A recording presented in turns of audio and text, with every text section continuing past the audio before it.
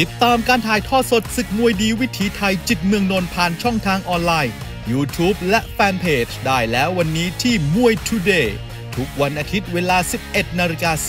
45 นาทีเป็นต้นไปแฟนมวยห้ามพลาด ครับอะแกมือล้างตานะครับ เคยใช้บริการกันมาแล้วคู่นี้นะครับ เป็นทางด้านของเพชรทวีศักดิ์เคยชนะรุ่งราวีมาเมื่อ 14 พฤษภาคม 2565 ที่ผ่านมาครับ วันนี้แก้มือล้างตากันมาอีกครั้งหนึ่ง เพชรทวีศักดิ์แสงมรกตดาวรุ่งดาวโรจน์อนาคตดีวัย 16 ปีครับ จากหนองบัวแดงจังหวัดชัยภูมินะครับ มีคุณท็อปแสงมรกตเป็นผู้จัดการหัวหน้าคณะมรกตดำประพัฒน์มอเตอร์นะครับเป็นทีมงาน staff trainer ผู้ฝึกสอนควบคุมดูแลการฝึกซ้อมซ้อมอยู่ที่ค่ายมวยแสงมรกตวัดสิตารามเขตป้อมปราบกรุงเทพมหานครเองครับ ส่วนทางด้านของรุ่งราวีศักดิ์อินเตอร์ครับ นี่ดาวโรจน์อนาคตดีวัย 17 ปี จากอำเภอเมืองจังหวัดนครศรีธรรมราชการศึกษาก็ชั้นม .5 ครับ มีคุณศักดิ์อินเตอร์เป็นหัวหน้าคณะ คุณอุมายอดวารีนะครับ คุณพ่อครับเป็นผู้จัดการนะครับ ซ้อมอยู่ที่นุชมวยไทยครับรูมวยไทยครับรูมวยไทยที่จังหวัดกระบี่ครับมีคุณสราวุฒิสออุดมชัยครับ เป็นทีมงาน staff trainer ผู้ฝึกสอนครับอะผ่านมา 2 คู่แล้วนะครับ มาถึงคู่ที่ 3 คู่รองของทุกท่านในวันนี้ครับเพชรทวีศักดิ์กับรุ่งราวีจะจบแบบไหนอย่างไรครับ เดี๋ยวติดตามนะครับ จะแค้นหนักกว่าเดิม หรือว่าจะแก้มือล้างตาได้รูปร่างโครงสร้างก็ต้องบอกว่าดีด้วยกันทั้งคู่เลยครับทางด้านของเพชรทวีศักดิ์ ดาวรุ่งดาวโรดอนาคตดีวัย 16 ปี 175 เซนติเมตรครับ นี่นะครับ แล้ววันนี้นะครับ แต่เข็มละ 500 จากอัตาซินนะครับ ขอบคุณนะฮะวินัยวีระผู้ชมด้วยนะครับ วันนี้คุณสายชนชัยพัสกุลจากจิวเจิ้งปูเซินเจียวหนัง นี่มามอบผมอะไรเลยทีเดียว แล้วก็ต้องขอบคุณนะครับ อุทัยทัพอาสาอดีตพบเรือนจำพระนครศรีอยุธยานี่ เป็นแฟนคลับรายการนี้ตลอดเลยไม่เคยขาดนะครับ แล้วก็ชูชีพตรีโพคาด้วยนะ สมพรแก้วรัศมีโชตดูด้วยนะครับ นี่ ดรช้างเอาผู้ขันศรีสะเกดเอาลุ้นไปน้ำเงินเตะเลย รุ่งราวีนี่สจหลายนี่ประจีนเนี่ยคนนั่งดูทั้งเมืองสจเอกประจีนก็ลุ้นด้วยอ้าวสจโต้งอ้าวดูรายการนี้นะแดกกลางอีสานใต้ออกตกนะครับเป็นรายการถ่ายทอดสดที่กำลังได้รับความนิยมจากท่านผู้ชมในเวลานี้ครับเรตติ้งกำลังดีเลยนะครับ ภาคใต้ก็สทโรดสุราษฎร์แล้วก็อย่าลืมนะครับ รายการมวยนัดยิ่งใหญ่ รายการนัดซุปเปอร์ไฟท์ครับ ในวันอังคารที่ 11 เมษายนนี้รายการนี้ชมฟรีนะครับสนามมวยเวทีมวยชั่วคราววัดป่าวังน้ำเย็นอำเภอเมืองจังหวัดมหาสารคามครับมวยมันสนั่นเมืองมหาสารคามครับท่านผู้กองรันครับร้อยตำรวจเอกนิรันยศสพลครับจัด 9 คู่เอกครับอะติดตามนะครับยี่ห้อนี้ไม่ต้องห่วงเลย จัดเล็กไม่เป็นนะครับผู้กองรันนี่แล้วก็เป็นแฟนคลับในรายการ มวยดีวิธีไทยด้วยนะครับในเรื่องมวยชอบเลยทีเดียว แล้วก็เป็นผู้ให้ด้วยนะผู้กองรันเอ้ามาดูคู่นี้ฝ่ายแดงเพชรทวีศักดิ์น้ำเงินรุ่งราวีหมดยกฝ่ายแดงเพชรทวีศักดิ์น้ำเงินรุ่งราวีนะครับหน้าตาดีเลยอะล้มไปเองนะล้มไปเองลูกนี้นี่นะครับแฟนหมัดมวยนี่ไม่ต้องห่วงเลย เยอะแน่นตลอดเลย ทุกวันอาทิตย์นะครับมวยดีวิธีไทย โดยเริ่มเวลาประมาณเที่ยง 15 นาที วันนี้ต้องขอบคุณนะครับ รอยันคอดิพลัสด้วยนะครับ ผสมวิตามิน B สิงห์และหอยนางรมจิวเจิ้งปูเซินเจียวหนัง แล้วก็สีธระบันไดด้วยแอนตาซินด้วยนะครับ แล้วก็เอเชียฟาร์มาซีปักโซทองหล่อนะครับเอาอะแล้วก็ขอเรียนเชิญนะครับสิทธิ์เก่าโรงเรียนปากพนังพบปะสังสรรค์งานคืนสู่เย้าชาวฟ้าแดงครับ 14 เมษายนนี้นะครับที่โรงเรียนครับเวลา 17 นาฬิกาคุณเล็กโสพลเรืองศรีฝากประชาสัมพันธ์มาครับบนเวทีครับตามต่อยกที่2ครับ ก็ต้องบอกว่าใครที่ชื่นชอบมวยคลาสสิก คู่นี้ใช่เลยนะครับชิงจังหวะในการออกแข้งกับแข้งซ้ายหมัดซ้าย กับแข้งขวานะครับ รุ่งราวีกับทางด้านของเพชรทวีศักดิ์นี่คือเจนใหม่ครับของมวยดีวิธีไทยอ่าวันนี้ขึ้นมาเป็นคู่รองครับ เชื่อว่าปลายปลายปีแล้วก็ต้นปีหน้าครับน่าจะขึ้นมาเป็นคู่เอกเลยครับซ้ายหลุดนะครับโดนขวาครับเนี่ยครับหลุดไม่ได้ครับโดนลงโทษครับเพราะว่าเป็นขวากับซ้าย ขยับเข้าไปครับ เพชรทวีศักดิ์รูปร่างโครงสร้างสูงยาวนะครับ แข้งขวาไปครับรุ่งราวีครับยกซ้ายบังได้ครับขยับเข้าไป ดูว่าจะเป็นหนังม้วนเดิมหรือเปล่านะครับ เคยชนะมาแล้วนะครับเพชรทวีศักดิ์ครับ แต่ตอนนั้นรุ่งราวีนี่เพิ่ง comeback กลับมาครับ แต่ตอนนี้แหมระบบหายใจดีเยี่ยมแล้วนะครับ จะสางแค้นได้หรือไม่ได้เอาเพชรทวีศักดิ์แดงนะครับน้ำเงินรุ่งราวีมาแต่อย่าอย่าอย่ายืนไกลนะ ยืนไกลนี่ตีนซ้ายของนี่นี่นี่เพชรทวีศักดิ์แกหวดก่อนเลยอะ ต้องเข้าใกล้ไปนิดนึงใกล้ไปอีกต้องเอาก่อนด้วยนะครับไม่เอาเอาเออไม่ต้องอย่างนั้นไม่ต้องอย่างนั้นนะครับขยับสืบเท้าลึกๆ แข้งขวาครับทางด้านของรุ่งราวี ผลงาน3ไฟที่ผ่านมายังไม่แพ้ใครครับชนะเพชรสุวรรณชนะเพชรกฤษดาล่าสุดแต่แพ้เกาะเต่าครับแข้งขวาเน้นๆแล้วครับ แล้วก็ล่อตาล่อใจ มีให้กับทางด้านของรุ่งราวีถึง60,000 บาทด้วยการแข้งซ้าย ของหนักของแรงมาแล้วครับ ของจริงมาแล้วครับ โอ้โหนี่ครับลำหนักหนักครับ ออกละเอียดเลยนะครับ เพียงยก 2 เท่านั้นเองครับ ไม่ต้องเก็บเอาไว้ครับ ปล่อยของเลยครับ มีดีงัดออกมาเดี๋ยวว่าได้ก่อนไปก่อนครับอ้าวเตะขวาไปทีนึงครับ รุ่งราวีเอาแม่ติดไปเรื่อยเพชรวิสาอย่าใจเย็นเอาซ้ายสวนคืนไปไม่ถึงแม่แข้งขายาวกว่านะครับ แดงเพชรวิสาน้ำเงินรุ่งราวีเข้าใกล้อีก อยู่ระยะตีนไม่ได้นะครับจะโดนเตะเอ้าเอาสะโอ้โหโหดีนะไม่ลึกลึกอีกหน่อยนี่รับไปเลยหนึ่งหมื่นจ่ายตัดสินด้วยนั่นแหละครับตะการคอนี่ศิลปะแม่ไม้มวยไทยครับมวยทูเดย์ก็อีก 10,000 บาทด้วยเช่นเดียวกันครับ สมทบทุนเลยครับให้กับนักมวยที่ใช้ศิลปะแม่ไม้มวยไทยได้ดีแข้งขวาติดบังรุ่งราวีเพชรทวีศักดิ์ไม่หนีเยอะเลยครับ ปักหลักใกล้ๆกลางเวที ต้องบอกว่าท่านผู้ชมดูนะครับหมัดขวาเสียงครางฮือทั้งสนามมาเลยครับอะตัดลากไปครับ รุ่งราวีพยายามออกหลากหลายนะครับโอ้โหเนี่ยครับมีล่างปุ๊บแล้วใส่บนเลยฮะพักก่อนอ้าวจับซ้ายคืนไปคืนอีกแล้วเอาซ้ายซุกดีนะไม่ลึกนะอื้อหือดูนะครับแต่ละจังหวะแต่ละจังหวะนะครับ แต่ละช็อตอื้อหือแข้งซ้ายครับแหมเป็นปลายปลายแข้งครับชงอ่อนไปนิดเดียวเลยครับ โอ้โหเสียวไส้เลยครับช็อตนี้ครับทางด้านของรุ่งราวี แล้วก็ในช่วงพักยกครับอัดฉีดล่อตาล่อใจมาเพิ่มอีกแล้วครับ จากตอนแรกเบื้องต้นนี่หกหมื่นตอนนี้มาเพิ่มอีก4 0,000เป็น1 0 0 0 0แบาทแล้วครับแล้วก็สมาคมนักเรียนเก่ามหาวัชราวุธจังหวัดสงขลาทุกคนทุกรุ่นทุกท่านนะครับเชิญร่วมงานคืนสู่เหย้าชาวมหาวัชราวุธในวันพฤหัสบดีที่ 6 เมษายนนี้ครับที่โรงเรียนครับจังหวัดสงขลาครับคุณกิตพัฒน์ ทองป้องนะครับ กรรมการบริหารสมาคมฝากประชาสัมพันธ์มา แล้วก็สิทธิ์เก่าโรงเรียนนารีกุลจังหวัดอุบลราชธานีครับสถาบันเก่าของผมเองครับนารีนุกูลครับก็พบปะสังสรรค์นะครับในวันพุธที่ 12 เมษายนนี้ครับตั้งแต่เวลา 17นาฬิกา30นาทีเป็นต้นไปครับบนเวทีแม่ซัดกันแหลกแล้วนะครับพลิกมาตีเข่าขวาครับ1 0 0 0 0แบาทครับรุ่งราวีเด้งตีซ้ายอีกทีหนึงครับเอาลุยลุยอย่างเดียวนะครับเอาน้ำเงินลุงราวีต้อง เข้าใกล้ไปได้สั้นกว่านี่อย่าอยู่นอกนอกนี่โดนตีนอ้าวซ้ายอีกแล้วอ้าวซ้ายคืนไปอ้าลุงราวีเข้าใกล้ไปอ้าวซ้ายแม่เพชรทวีศักดิ์เตะไปเรื่อยเตะไปก่อนเอาละครับต้องเร่งนะครับต้องเสริมหมัดด้วยครับทางด้านของรุ่งราวีกับอาชิตหนึ่งแสนบาทหมัดขวาใส่เข้าไปครับ สิงห์อีสานครับประการใต้ไฟที่ 2 ของทั้งคู่นะครับในการเจอกันอ่าไฟที่ผ่านมาปี 2565 ครับ ยังคาใจกันอยู่แข้งซ้าย เน้นๆแล้วครับเกี่ยวได้คืนด้วยซ้าย โอ้โห ถึงอาวุธถึงใจอีกแล้วครับ ขวาไปซ้ายคืนครับ เกี่ยวได้แล้วซ้ายหลุดครับทางด้านของรุ่งนาวี ขวาไปครับยกบังได้ครับเพชรวีศักดิ์เอาซ้ายคืนมา ดันดันเข้าเชือกโอ้ทำอะไรไม่ได้ครับถือว่าป้องกันดีครับจังหวะนี้ของเพชรทวีศักดิ์กรรมการแยกออกมาครับวรชิตแช่มชื่น แล้วก็สร้างจังหวะกันใหม่ครับสาดแข้งขวามาเตะไม่เข้าครับ ซ้ายไปก็โดนปลายปลายเท้า ตัดล่างครับด้วยแข้งซ้ายของรุ่งราวีขยับเข้าไปครับกระชับพื้นที่ไป ซ้ายของเพชรทวีศักดิ์ขวามาครับรุ่งราวีแกเตะเยอะนะครับแม่แกเตะเยอะแต่ติดหมดเนี่ยน้ำเงินรุ่งราวีนะครับ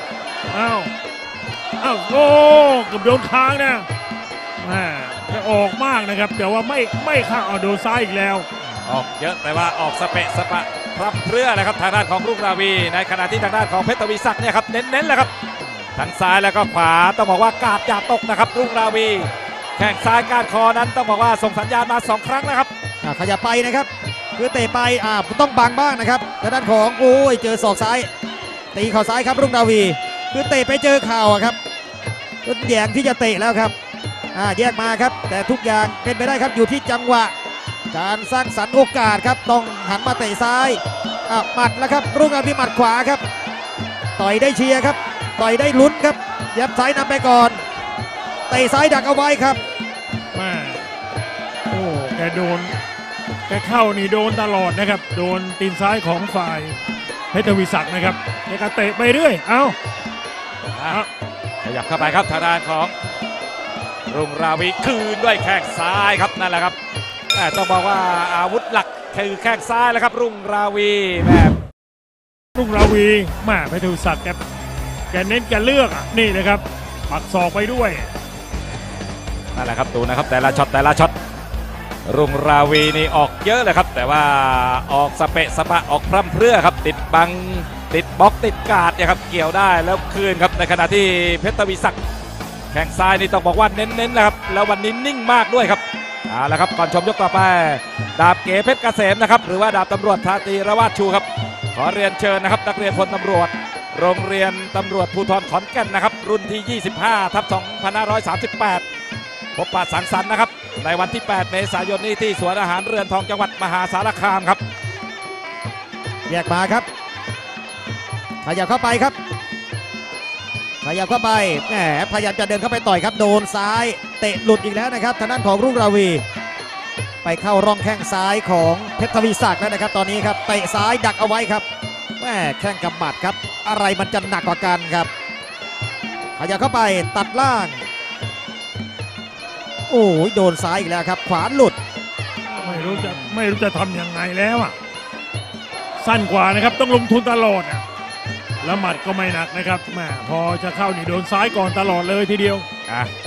ยังมีเวลาครับ ทุกอย่างยังเป็นไปได้ ขยับเดินไปครับทางด้านของรุ่งราวีแม่แล้ววันนี้เพชรทวีศักดิ์ต้องบอกว่านิ่งมากครับ แล้วก็จังหวะที่ผ่านมาครับจังหวะของเนี่ยครับโดนแข้งซ้ายก้านคออีกแล้วครับทางด้านของรุ่งราวี เพชรทวีศักดิ์ครับวันนี้เรียกว่าจังหวะในการออกอาวุธนั้นเป็นใจนะครับ ยังไม่พลาดครับแข้งซ้ายลำตัวอีกแล้วครับคืนด้วยแข้งซ้ายกลับคืนมาทางด้านของรุ่งราวี ก็ต้องบอกว่ารุ่งราวีมีความพยายามนะครับ พยายามค่อนข้างเยอะนะครับแต่เพชรทวีศักดิ์เนี่ยครับเนี่ยครับแข้งซ้ายครับ มันคนละแข้งคนละข้างคนละทางคนละกาดอยู่แล้วครับ ขยับก่อนออกก่อนก็เรียกว่าได้เปรียบนะครับพยายามออกแข้งขวาครับก็ยังสู้อยู่นะครับทางด้านของรุ่งราวีครับเนี่ยครับ แต่พอจะเตะขวานี่ก็ออกน้อยแล้วนะครับ เพราะว่ายกที่ผ่านมานี่เตะไปเจอเข่าหลายครั้งต่อหลายครั้งครับชักจะแยงในการออกเหมือนกันครับ ต้องมาหันออกซ้ายหน้าแล้วแต่หมัดยังอยู่นะครับหมัดยังอยู่โอ้โหกว่าหมัดจะโดนครับ โดนแข้งซะก่อนดูแล้วเพชรวีศักดิ์นี่ก็ชกสบายเลยะนะรุ่งราวีนี่เข้าทางเลยอะแล้วไม่มีอาวุธอะไรแรงด้วยนะครับ แกก็เล็มไปเรื่อยนี่เข้ามาก็เตะเข้ามาก็เตะนี่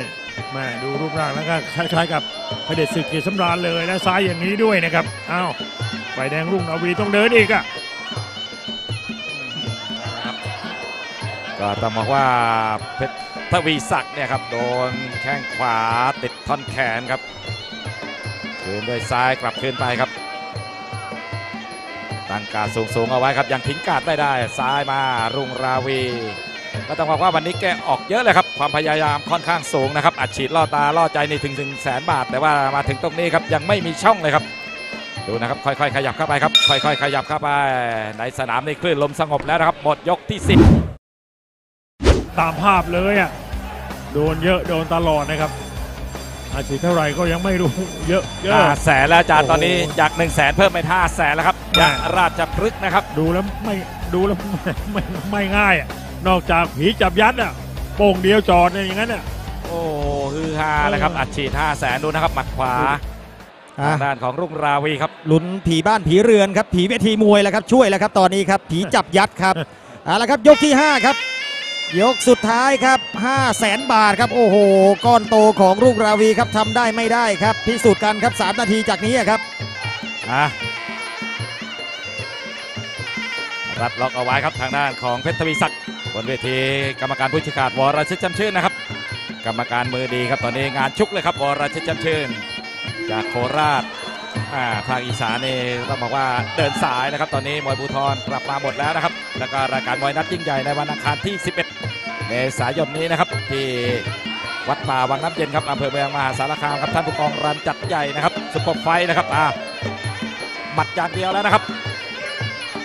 แต่ว่าเจอคว้าคอล็อกแขนเอาไว้ครับพลิกสถานการณ์ได้นี่ห้าแสนแล้วครับทางด้านของรุ่งราวี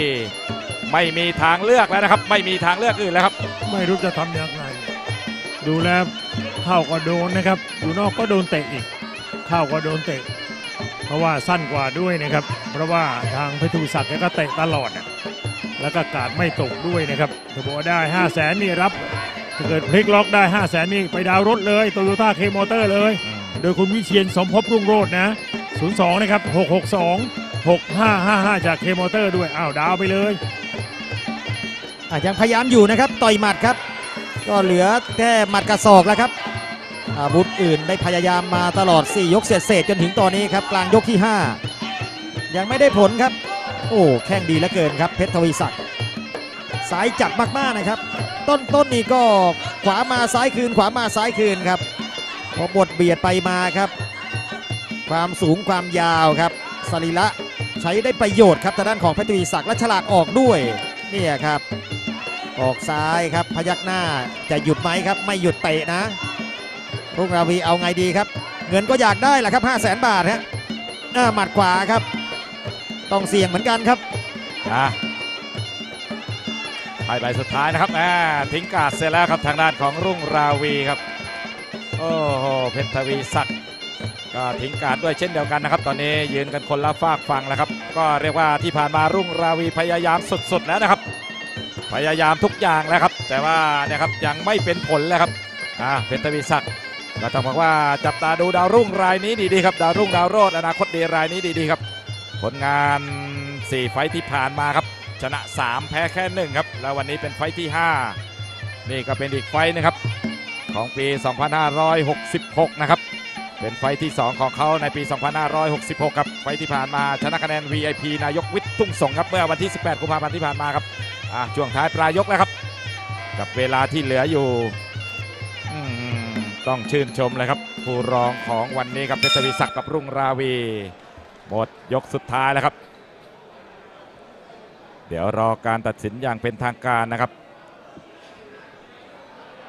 ให้คะแนนด้านล่าง 3 ท่านของคู่นี้นะครับดำเกิงมีศาสสุนทรศรีบวลลาครับแล้วก็คะแนนใบสุดท้ายจากพี่ตู่พงศักดิ์เป็นละม่อมนะครับรวมคะแนนแล้วก็หันไปชูมือกับทางด้านของเพชรทวีศักดิ์แสงมรกตนะครับดาวรุ่งดาวโรดอนาคตดีวัย 16 ปี จากหนองบัวแดงจังหวัดชัยภูมิครับ